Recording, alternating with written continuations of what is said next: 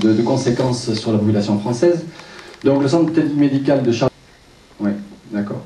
Donc je ne vais pas trop en dire parce qu'apparemment ma collègue a des questions là-dessus vous poser sur euh, un test de connaissance. On vous développera ça plus tard, hein, c'est pas dramatique. Ce qui est important à retenir, c'est que dans les mois prochains, vous commencez une nouvelle formation. Cette nouvelle formation, en plus, a des nouvelles modalités de déroulement qui sont un peu différentes de ce qui se faisait au préalable. Donc vous allez devenir des infirmiers avec un niveau de licence, euh, licence professionnelle, mais c'est quand même un niveau de licence. Donc ça va vous demander de plus en plus d'être des performeurs, hein, d'être capable d'assurer un travail professionnel dans tous les domaines d'activité possibles que vous offre ce métier d'infirmier, qui est très vaste.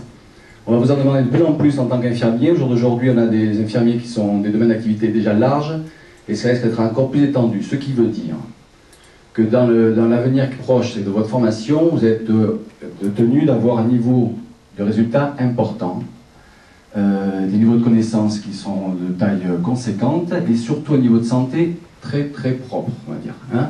Ce qui veut dire, ce qui m'amène à vous dire, c'est la chose suivante. Cette année, nous avons eu euh, à deux ou trois reprises, même trois reprises, des incidents de stage d'étudiants qui ont commis des fautes professionnelles lourdes, ayant entraîné ou failli entraîner euh, l'état de santé des patients jusqu'à la mort. Il y a eu deux décès suite à sur Bordeaux et sur Limoges. Euh, alors, ce qui pose problème, c'est pour ça que j'interviens ici de façon assez urgente, pour ça dès le premier jour, parce qu'on n'a pas trop de créneau après, c'est qu'il s'est trouvé que ces étudiants étaient sous emprise de stupéfiants. Un pour un stupéfiant, cannabis, et l'autre alcool. Bon. J'imagine bien qu'à vos âges, ce genre de produit, c'est quelque chose que vous connaissez, que vous pratiquez. Cela dit, ça c'est votre vie privée, ça ne nous regarde pas, ça ne regarde personne. Ceci étant que le plan blanc va vous demander d'être éventuellement réquisitionné pour travailler sur le terrain en situation réelle. Ce qui veut dire que vous êtes amené à être endossé à un moment donné la blouse d'un professionnel paramédical, certes en des tâches qui seront, correspondront à votre niveau de connaissance, mais vous n'aurez pas droit à l'erreur. Au jour d'aujourd'hui, il y a déjà un déficit de soignants dans les services pour des raisons économiques, mais si demain on déclenche les 66 millions de vaccinations qui est prévu par l'État français, ça veut dire qu'il faudra que les étudiants infirmiers troisième année soient auditionnés pour faire toutes les vaccinations de la population française en renfort des équipes soignantes et en renfort des équipes médicales de ville et hospitalières, et que vous, étudiants infirmiers de deuxième et première année, ce qui est votre cas, vos première année, d'être éventuellement en renfort pour la logistique. Et on ne sait pas trop sur quel plan on va se loger, dans le sens où il est possible que ça aille très loin, puisque c'est la première fois qu'à l'hémisphère nord, vous allez avoir cette pandémie.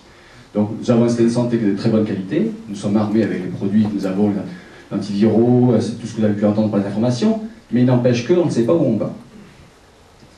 Donc ce qui m'amène à vous dire, je sais que ça va faire hurler certains, c'est obligatoire, que nous allons être obligés de mettre en place un dépistage systématique de tout le monde, tout le personnel hospitalier titulaire, mais aussi les étudiants.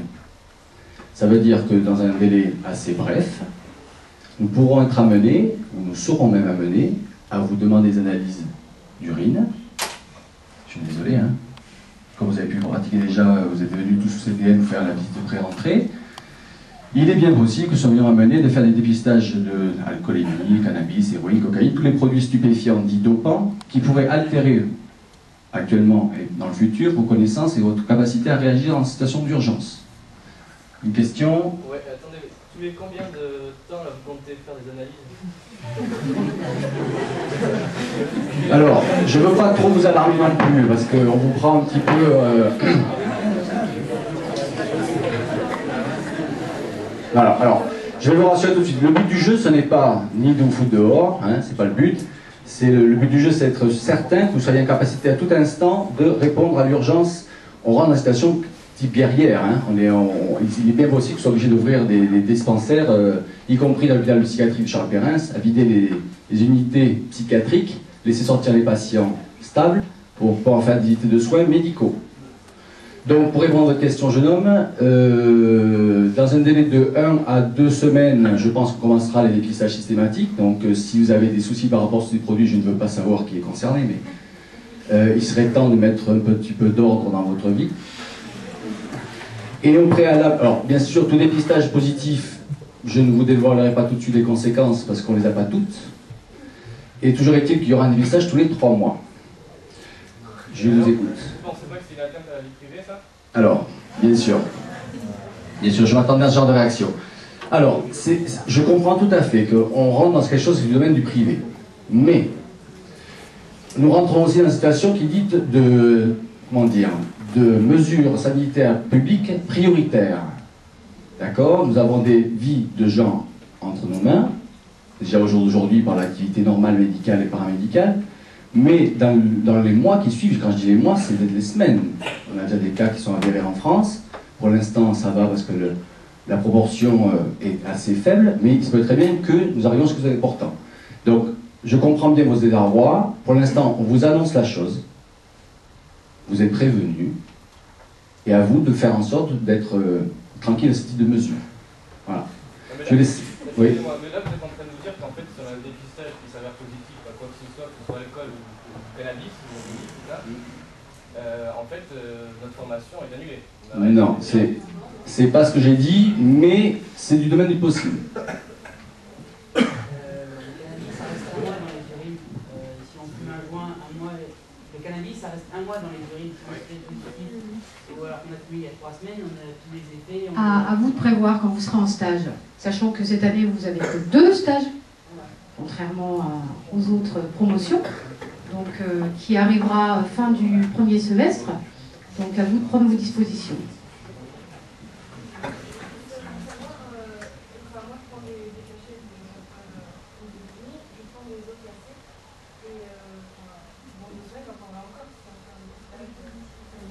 Même temps, si vous avez une ordonnance, je pense que de suite, là, il ne faut pas partir dans une grosse panique. Hein. C'est voilà, c'est le règlement, c'est la DAS qui le demande. Donc n'allez pas vous dire qu'on est en train de faire la chasse aux drogués. C'est pas du tout ça. J'insiste bien. Hein. Ce que je voulais vous dire, Monsieur Trignac, c'est qu'il y a une nouvelle loi et elle nous est imposée à tous les IFSI. C'est comme ça. Et euh, ne paniquez pas. Et de toute façon, il y a des interventions régulières. Euh, lorsque vous allez avoir vos analyses de pratique, il y a des psychologues qui viendront. Et, à ce moment-là, n'hésitez pas à parler s'il y a des choses qui vous choquent, s'il y a des choses qui ne sont pas euh, claires pour vous. Il ne faut pas le garder, mais surtout, ne voyez pas ça comme une menace au-dessus de votre tête. Voilà. Euh, oui. C'est pas une menace, mais en même temps, vous menacez un petit peu la gang.